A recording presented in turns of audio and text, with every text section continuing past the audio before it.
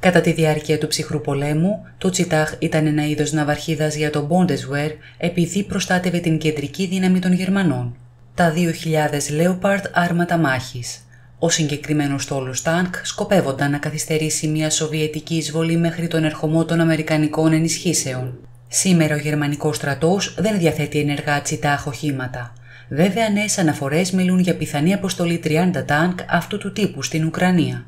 Εξαιτίας της σημασίας της για το Bundeswehr, η αντιαεροπορική άμυνα αποτελούσε ξεχωριστός κλάδος της υπηρεσίας, όπως ακριβώς το πεζικό ή το πυροβολικό.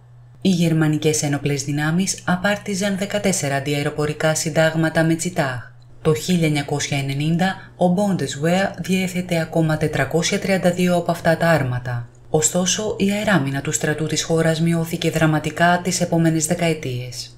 Λόγω των ασύμετρων σειράξεων όπως αυτή του Αφγανιστάν, οι πολιτικοί και στρατιωτικοί ηγέτες θεωρούσαν πως δεν απαιτούνταν κάποιο ισχυρό σύστημα αεράμινας.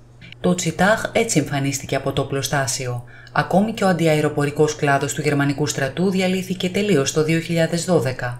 Η αεράμινα των στρατευμάτων ξηράς ανατέθηκε στην γερμανική πολεμική αεροπορία ως δευτερεύον καθήκον. Ο γερμανικός στρατός έστειλε 43 τσιτάχ στη Ρουμανία στις αρχές της δεκαετίας του 2000 και εκπαίδευσε τα πρώτα πληρώματα στη χώρα.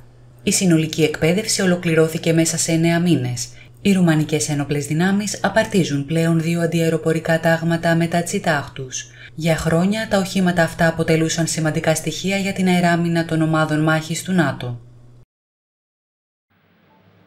Ευχαριστούμε που μας παρακολουθήσατε. Αν σας άρεσε αυτό το βίντεο, μπορείτε να κάνετε like και εγγραφή στο κανάλι μας για να λαμβάνετε πρώτοι όλες τις νεότερες εξελίξεις. Μην ξεχνάτε να μας κάνετε σχόλια με την άποψή σας, καθώς η γνώμη σας είναι πολύ σημαντική για εμάς.